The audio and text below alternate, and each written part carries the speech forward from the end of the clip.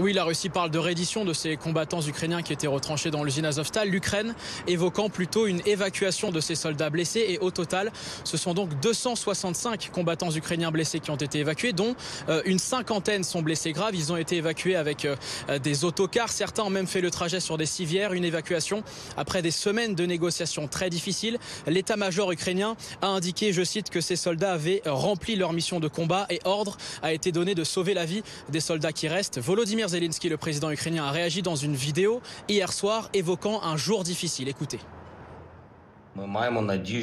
Nous espérons sauver la vie de nos gars. Parmi eux, il y a des blessés graves. Ils sont soignés. Je veux le souligner, l'Ukraine a besoin de ces héros ukrainiens vivants. C'est notre principe.